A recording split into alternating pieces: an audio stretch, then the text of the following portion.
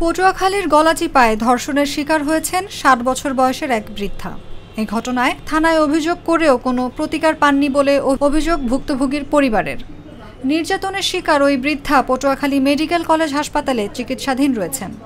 চব্বিশে এপ্রিল রাতে জেলার গলাচিপা উপজেলার চরবিশ্বাস ইউনিয়নের এক নং ওয়ার্ডে এই ধর্ষণের ঘটনা ঘটে। এ ঘটনার পঁচিশে এপ্রিল গলাচিপা থানায় ওই নারীর ছেলে বাদী হয়ে অভিযোগ করলে পুলিশ তিন মে মামলাটি নথিভুক্ত করে বলে জানান ওসি। ধর্ষণের শিকার ওই নারীর সৎ ছেলে রহমতুল্লাহ বলেন, নির্যাতনের শিকার ওই নারী তার বাবার প্রথম স্ত্রী। তার বাবা মারা যাওয়ার পর ওই নারী একজন পালিত ছেলে নিয়ে নিজ বসত ঘরে বসবাস করে আসছিলেন।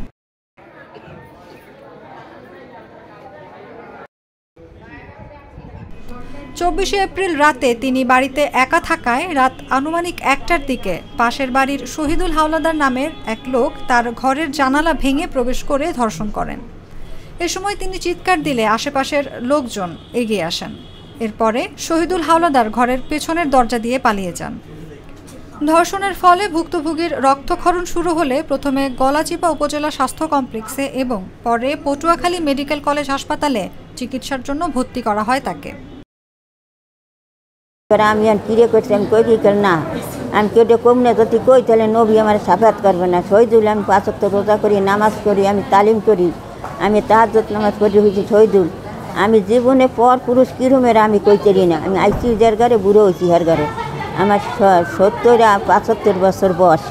এই এবার আমি কইছি ওই করছে, হার পর ওরা মোবাইল চুরি করছে, গরুর দরে গেছে হারবার এই এই নগদি তারপর এই দুইটা দুই বেরি করে দুইটা মোবাইল চুরি করছে। এরপর ওই একটা গরুর দরে গেছে। এরপর ওরা গোটে বগার দেওয়া আছে, ডাকা বই ওরা খুন খুন জমি করছে, ডাকা বইয়ে মানুষ জবা দিয়েছে, ই করছে, এই বগা দাও, অগর দেহানো আছে, বগা দাও। এই বিষয়ে গলাচিপা থানার ভারপ্রাপ্ত কর্মকর্তা সনিত কুমার গায়েন জানান, অভিযোগের প্রাথমিক সত্যতা পাওয়া গেছে। তিনি মে, মামলা রুজু হয়েছে। মামলা নং চার। আসামিকে গ্রেফতারের চেষ্টা চলছে। অভিযোগের সাত দিন পর মামলা গ্রহণের বিষয়ে জানতে চাইলে ওসি বলেন, মামলাটি তদন্ত করতে সময় লেগেছে।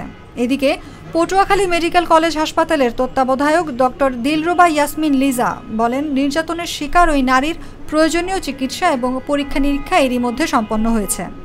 যথাসময় সংশ্লিষ্ট কর্তৃপক্ষের কাছে প্রতিবেদন দাখিল করা হবে।